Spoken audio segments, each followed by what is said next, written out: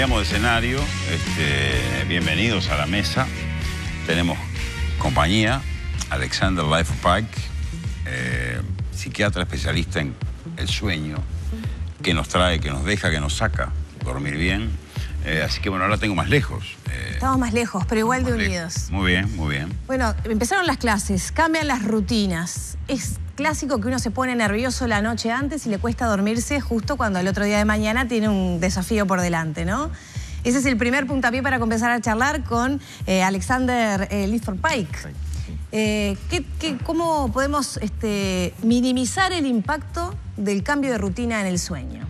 Bueno, hay un cambio de rutina en los sueños, en el sueño de los padres y de los hijos, ¿no? Porque los papás tienen que acomodarse al nuevo sueño, al nuevo horario. Entonces es un cambio que, tiene, que toca a toda la casa. Entonces, este, es, es un cambio muy importante porque hay que empezarse a dormirse antes para levantarse más temprano.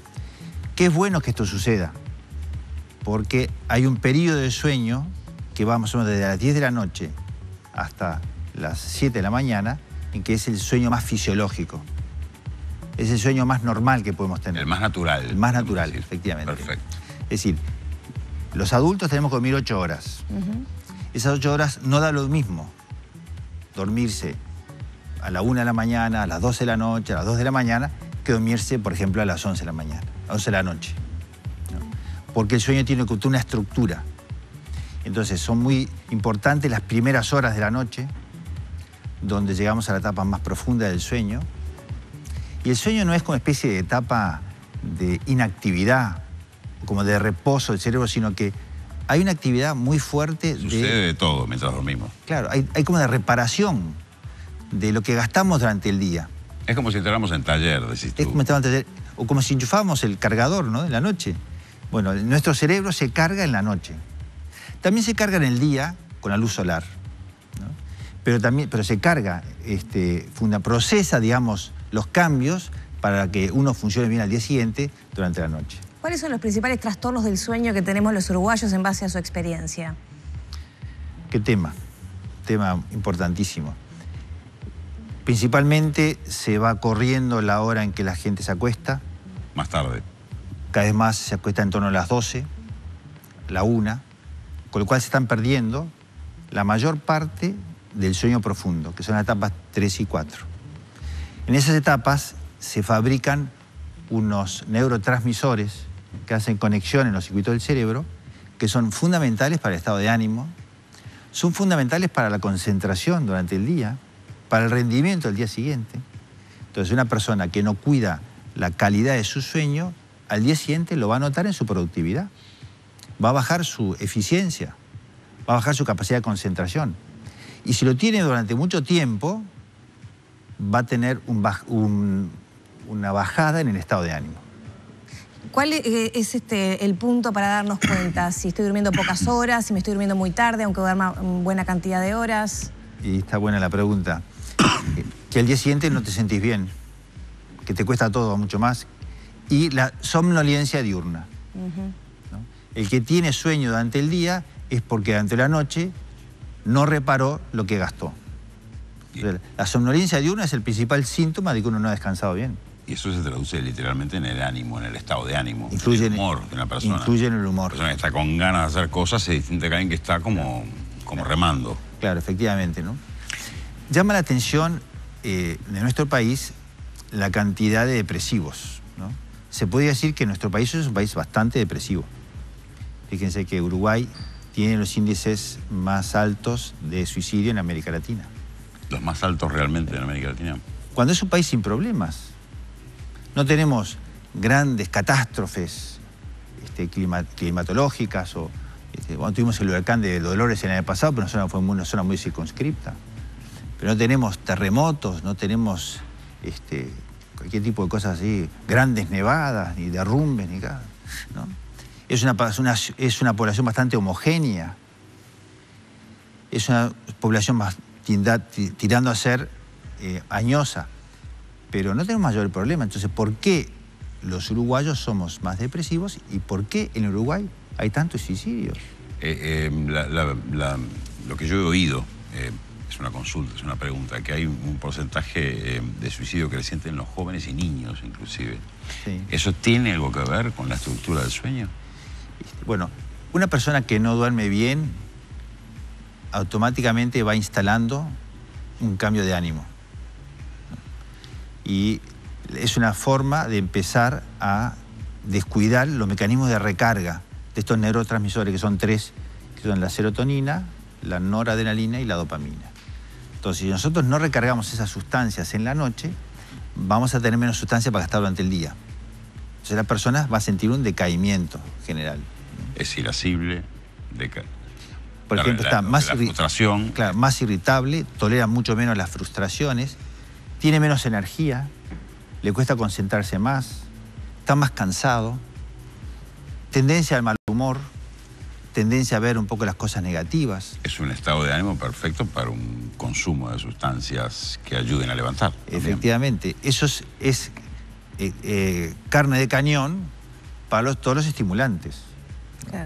Y bueno, en nuestro país desgraciadamente se aprobó la marihuana, que se este, está usando mucha gente justamente como estimulantes. Posiblemente nosotros consumimos... El alcohol, que, efectivamente. El alcohol es una de las grandes adicciones que en nuestro país es llamativamente así alta la cantidad de alcohol que se consume. Pero, y que a su vez el alcohol altera el sueño. A mí me causa gracia porque hace años me acuerdo estando en reunión de amigos, me decían, no, pero yo, uno me decía, no, yo tengo solución para cuando no puedo dormir. Yo sé que con un whisky o dos whisky... Una copita de vino para dormir Lo arreglo, con eso lo arreglo. Prefiero eso a tomar medicinas. Bueno, pero el alcohol no ayuda a dormir. Da una somnolencia inicial, sí, pero no permite la llegada a etapas profundas del sueño. Entonces, se saben que los alcohólicos en general tienden a deprimirse.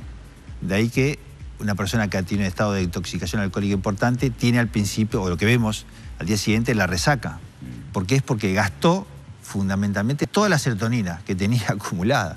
Se quedó sin nafta. Se quedó sin nafta. ¿El insomnio es una enfermedad? ¿Es su consecuencia de algo? ¿O uno puede ser insomnio siendo inocente, por decirlo de otra manera? Insomnio es un síntoma patológico que puede corresponder a varias enfermedades. Puede corresponder a la ansiedad, y eso es más el insomnio del comienzo de la noche. Es la persona que no logra desenchufarse de las cosas del día y sigue enganchado. Está el insomnio del el final de la noche, es la persona que se desvela, por ejemplo, 3, 4, 5 de la mañana. Eso se ve más en las depresiones. Y después hay, insomnios cuando es también un sueño muy superficial con múltiples interrupciones. Entonces, es un síntoma que corresponde a diferentes patologías. Entonces, nosotros psiquiatras tenemos que hacer una muy buena semiología de la alteración del sueño para hacer un buen diagnóstico. Una vez que se llega al diagnóstico, se impone la terapéutica. Por ejemplo, es muy distinto hacer el diagnóstico de insomnio por ansiedad, porque eso Inicialmente usamos ansiolíticos y enseñamos técnicas de relajación o técnicas de meditación. Y al final vamos, o a medida que progresa el tratamiento, se van sacando los ansiolíticos y se queda la persona con esas técnicas de relajación o de meditación que ya... Ya con un periodo habiendo dormido bien, habiendo encontrado el sabor de dormir bien. Claro. En generalmente hay que ir, o hay que buscar también si hay conflictos, ¿no? Claro. Porque si una persona no, no se desenchufa de lo que ha pasado durante el día es porque ese día ha sido de alguna manera conflictivo. Pero sin patología, ¿hay alguna regla general que podamos tener para inducir un buen sueño, digamos? Porque muchas veces este, eh, estamos nerviosos por algo en particular y lo que usted decía, no, logramos un sueño profundo. Bien, entonces las primeras medidas llamamos, las llamamos higiene del sueño. Entonces, por ejemplo, eh, no conviene hacer deporte en la noche. Ah, Hay que terminar el deporte aproximadamente dos horas antes del tiempo o de la hora que uno tiene previsto irse a dormir. Porque el deporte acelera todo el cuerpo. Si uno está con una frecuencia cardíaca de 60 o de 70 en el situación de reposo, empieza a correr y empieza a hacer deporte y juega el fútbol o, o baby fútbol, lo que sea, o fútbol de salón, queda con 120 taquicardia. Entonces, se crean cantidades de adrenalina. Entonces, para bajar a la situación normal, llevas más o menos dos horas. Primera idea. Segunda idea, este, hay que también suspender o, o sacar de la habitación, por ejemplo, todas las pantallas, Pantalla de televisión. incluida la televisión. Pero más que nada yo diría hoy en día las pantallas de las computadoras, de los, smart- de los smartphones, ¿no? o este, de las eh, de- de pequeñas computadoras que uno puede tener en el cuarto. Sí, de- creo que ese es el tema con el cual nos vamos a trenzar ahora después de la pausa, porque estamos en un mundo tecnológico, estamos en un mundo donde las generaciones se comunican, se identifican con una pantalla de luz que muchas veces se usa de noche y eso sabemos que afecta al sueño. Alexander Leifert Pike, ¿se queda? Sí, cómo no.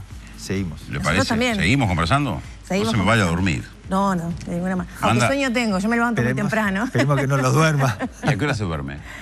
Y a las 10, 10 y media, pero me levanto 5 y media. o sea que ella está haciendo las cosas bien. Bastante bien, sí, sí, sí. La, la peleo, ¿eh? no siempre Bueno, puedo. o sea que tiene el alta de, de Pike. Nos vamos a la pausa y volvemos. Dormite tranquilo. Que todo va a pasar. Mamá está contigo.